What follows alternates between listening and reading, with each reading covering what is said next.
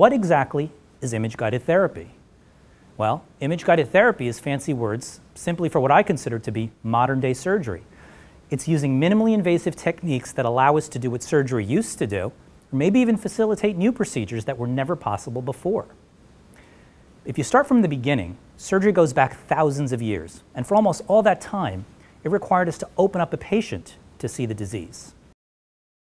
But now, thanks to technology that we and Philips have pioneered, going all the way back to 1955, when we developed the world's first mobile angiography system, doctors like me now have imaging technology so I can see inside the body without opening it up, using things like X-ray and ultrasound and MRI and CAT scans. So when we say image-guided therapy, that's the imaging.